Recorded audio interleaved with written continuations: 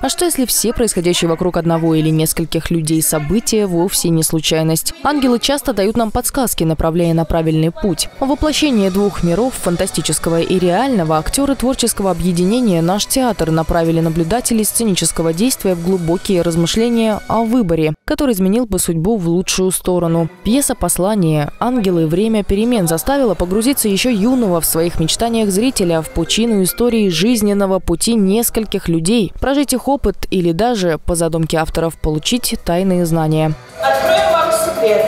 Мы, ангелы, иногда сговариваемся друг с другом.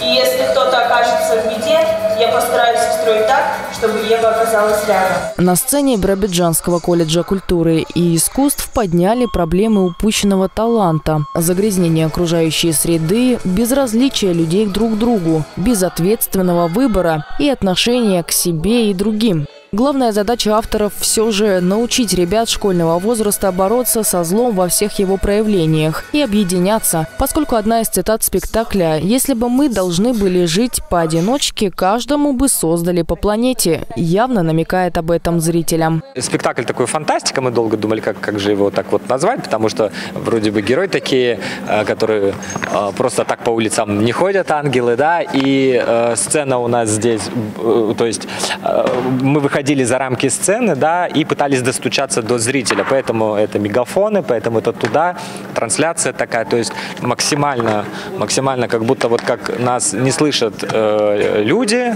главных героев, да, и вот нужно было этот контакт э, собственно говоря, создать. Да. Екатерина Кувалдина, Кирилл Богаченко. Новости 21.